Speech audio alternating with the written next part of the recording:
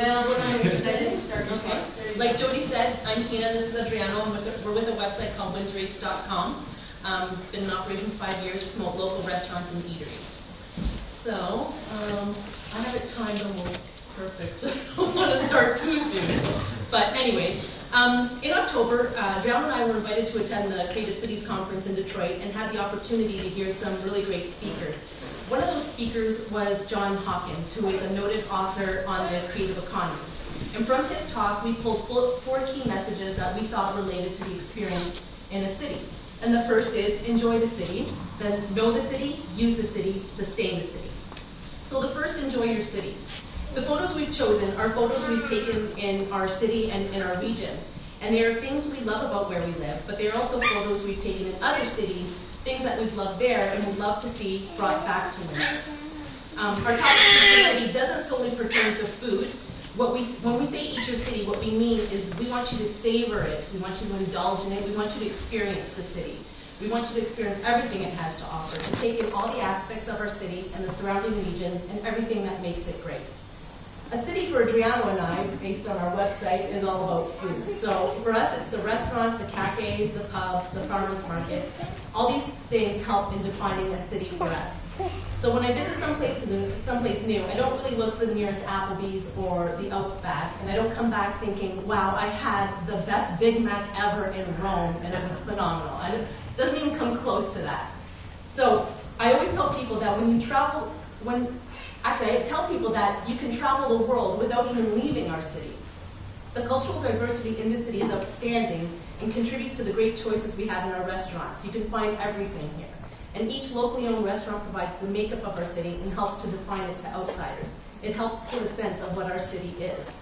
Um, and through Windsor Eats, we've created a guide to finding that authentic dining experience, and we want people to have an experience outside of the generic formula restaurant. You want to know your city? Take a walk, get on your bike, even hop in the car and, and go out to the county and see what, what the surrounding region has to offer. The best way to appreciate your city and region is to experience what it has to give you. And let me tell you, you might not know, but Windsor and Essex County actually has a lot to give. Last year, we introduced, as you can see on the picture here, uh, the Windsor Eats Wine Trail rides. They were a huge success. And we believe they were because people want to know more about the region they live in or are visiting. We've had people not only from Essex County come on our rides, but across Michigan and across Ontario. Through these rides, they were able to sample wines from the multiple local wineries, uh, all while cycling the back roads and taking in the sights, the sounds, the smells, and the flavors of Essex County.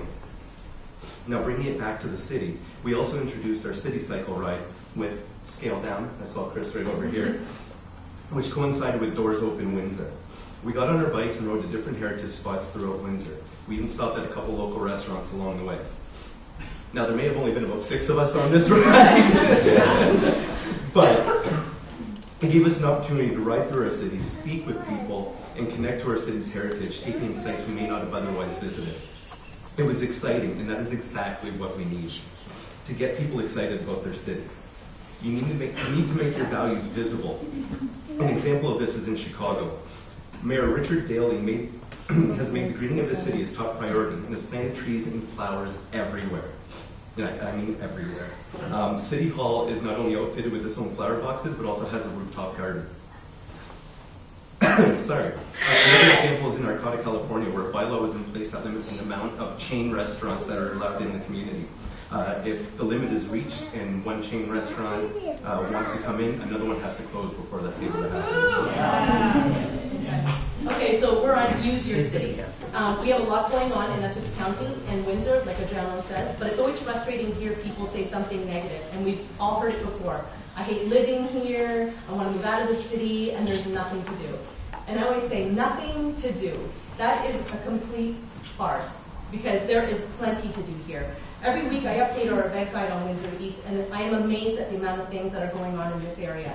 This month alone has been packed with so many cultural events, and take example for example this weekend.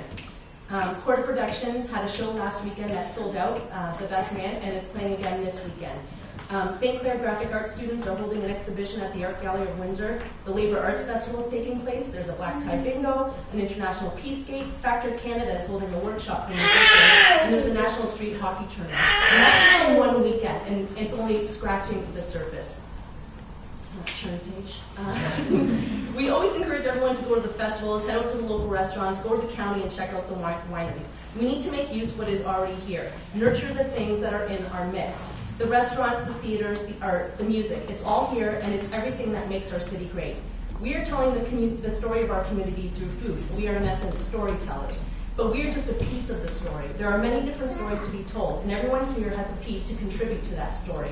We need to tell people about the great things that are happening but we also need to enjoy them for ourselves.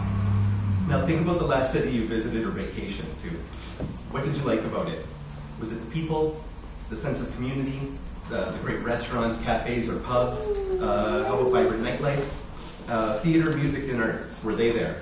Uh, or was it that you didn't even need a car to get around and you walked everywhere? Now think about Windsor. Do we have the same things you loved about the city you visited? If not, why? And what do we need to do to get it to make our city like those we love to visit? It's time to stop whining and complaining and start doing. People are willing to travel thousands of kilometers and spend thousands of dollars to experience those things, but shun it in their own city. We need to nourish and nurture our own culture, our own artists, and our own, own local businesses. Don't see something you like? Create it. We are the ones that make the city. It is up to us as citizens to create the kind of city we want to live in. Change does not come from the top down, but it happens from the bottom up. Mahatma Gandhi- once said, Be the change you want to see in the world. As residents, we need to make the change we want to see in our city. We need to stop placing limits, limitations on ourselves. If you want something, make it happen. Let's frequent our local businesses and favor of the generic national stores. Let's create renewed vibrancy on the streets with vendors and, and artists selling their wares in the streets. Let's convince our shop owners to say enough with the bland backlit plastic signage and uniquely decorated and designed storefronts. Let's create a truly local renaissance. We are the ones who need to lead. We are the ones who must decide, and we are the ones who matter. Thanks.